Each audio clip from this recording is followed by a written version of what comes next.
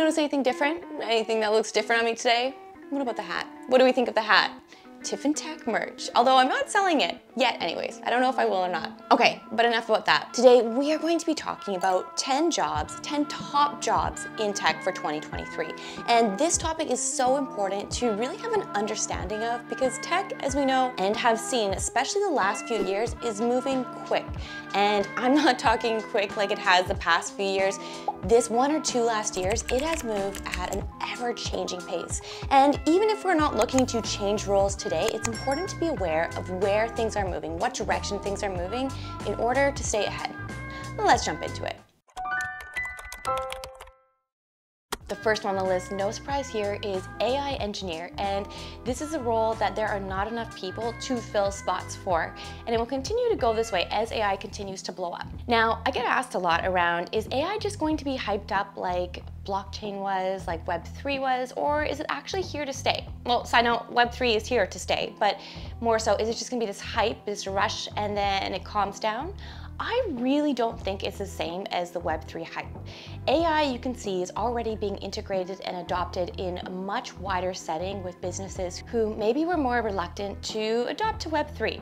AI is definitely catching on to the general public. I mean, we've seen the stats around how quickly ChatGPT caught on with everyone with the user base mods, they can hear that in the video. Now we've already seen with the attention that ChatGPT has had and how quickly it has garnered a user base. I mean, quicker than any other social platform out there. It's kind of insane when you think about it.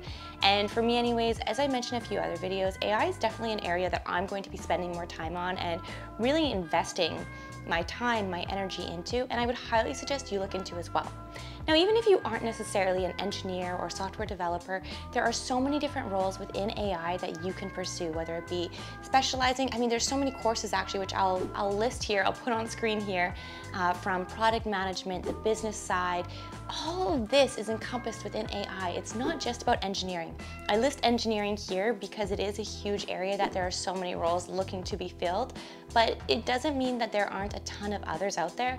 For non-technical people, that need to be filled and you need to have a deep understanding of AI. The good thing is there are so many courses out there that you can take right from home even. Now, this is one of those areas that if you are looking to break into tech or maybe even evolve your career, getting into cybersecurity is one of the safest bets that you can make. And this is coming from someone who is not a bettor. The reality is, as more things continue to become online, more businesses go online, the demand for cybersecurity specialists, whether you are a cybersecurity engineer, cybersecurity business analyst, whatever role you play, getting into the field of cybersecurity in general is going to continue to grow in demand. And with it growing in demand, I'll share a stat here actually. The numbers, as you can see, there are not enough people to fill all of these roles. So in turn, what does that mean? Well, one thing it means is the salary will continue to increase. This is a great area for you to focus in on if you are looking for job security and an extremely high paying salary.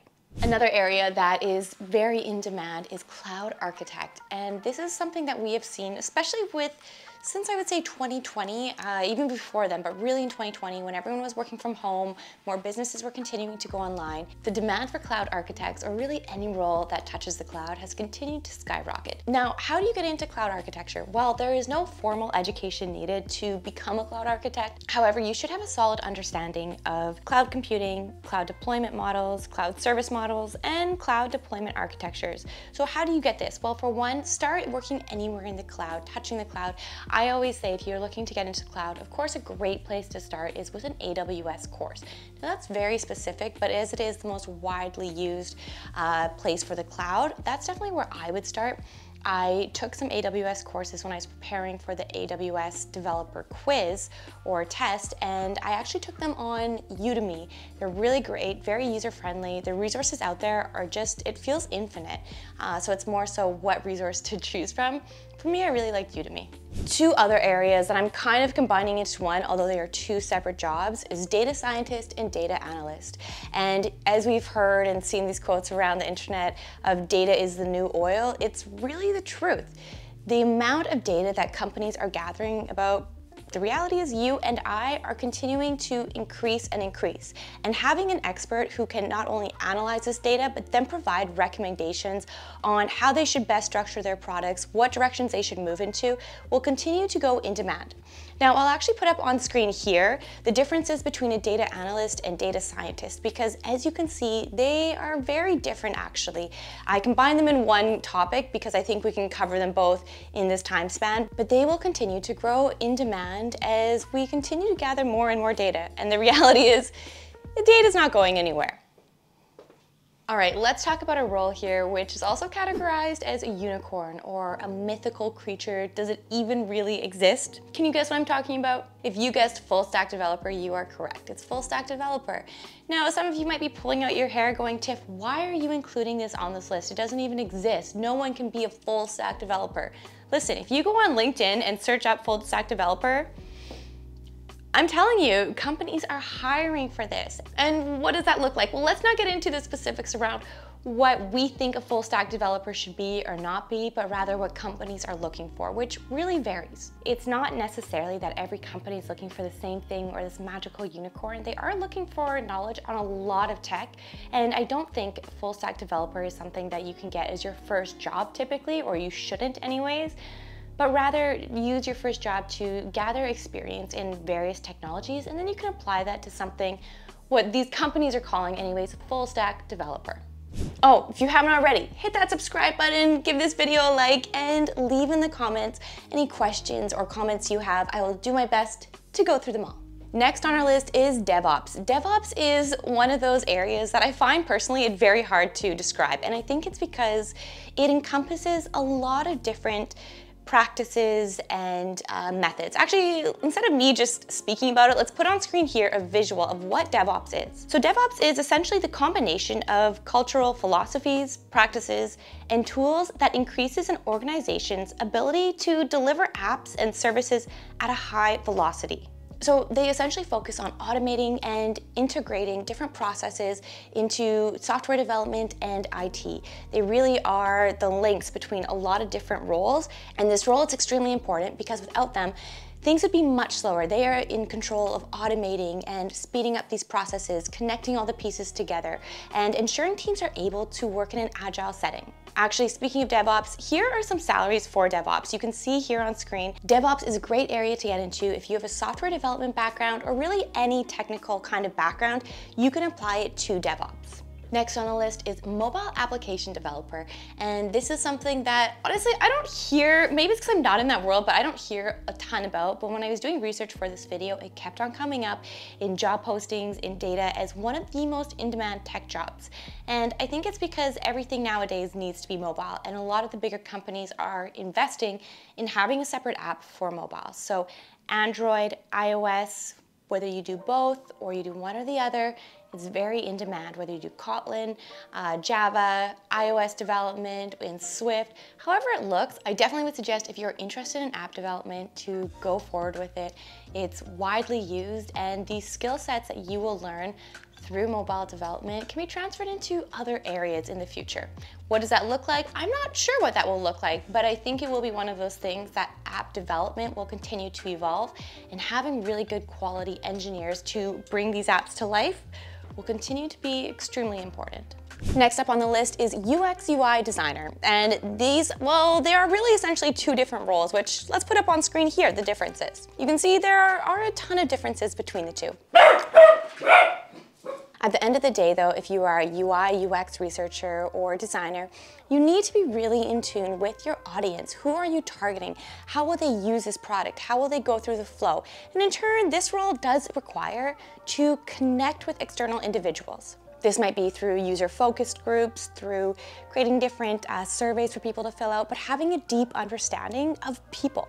So a lot of my friends who actually get into UX, UI design, love people. And I mean, very opposite from the typical, let's say, software developer like myself, who would rather just, you know, talk to people sometimes and then work. Yes, UX, UI designers talk, do the same thing, talk to people sometimes and then work, but they're always, always thinking about how will the end user use this? How can I best make this flow for them?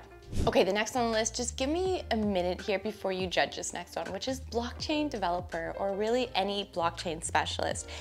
I think nowadays, a lot of times, blockchain has a kind of bad rap, or for the general public at least, meaning when you think blockchain, you immediately associate it to crypto, which is definitely not the case. Yes, it's one area that blockchain touches, but there are so many areas around sustainability, healthcare, uh, business growth, uh, identity theft that blockchain can touch. So please let's not create the two to be combined together. Blockchain is continuing to evolve and grow in demand. This tech skill, this tech knowledge will be an area of focus for the current and future as far as we can see. It will continue to expand. So being able to have this knowledge now and get this experience now will enable you in the future to be able to be more senior at the time that it becomes extremely widely used and ask for a really high salary in turn. I mean, you already could do that with blockchain.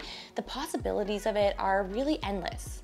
So how to become a blockchain developer, or at least very well versed in blockchain if you're thinking of it more from a business standpoint? Well, for one, if you are looking to become a blockchain developer, the good thing is there are so many courses online in which you can take. You need to understand what a ledger is, what consensus is. You need to understand how to build smart contracts. And the good news is if you're already a developer, all of those things I can tell you firsthand are pretty straightforward to learn. You just need to start building really. If you are looking to get on it from the business standpoint, I would suggest as well to take a course. Once again, this can just be from online, just to have that certification on your resume, especially to, you know, please AI as it is sifting through your resume, it will see that you have these certifications. And last, but definitely not least on the list, is AR and VR designers. So augmented reality, virtual reality designers. This is an area that touches education, gaming, healthcare, you name it, and it touches it. Actually, Meta released recently here I don't know if I'll get copyrighted for it, so I'm not gonna share it in this uh, video, but I'll link it down below.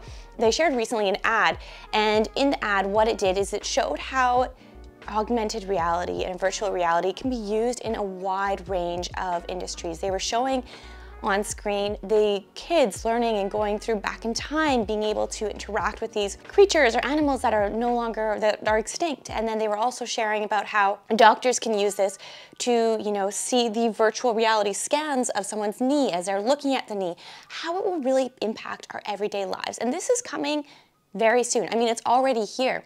So being part, whether you're a designer, engineer, or once again, on the business side, this is an area that will continue to be in demand, is extremely popular for 2023 and beyond. All right, we were able to list the top 10 tech careers for 2023, and I was very strategic in listing these in ensuring that they were not only for 2023, but areas and careers that you can grow in be comfortable in for the foreseeing future. Foreseeing future? Near future? Is it what it is, foreseeing future? Uh, foreseeable. Foreseeable future. These are careers that are really exciting and there's so much opportunity in them, so I'm really curious to hear, what are you interested in? Leave down in the comments and I'll see you all soon. Thanks everyone.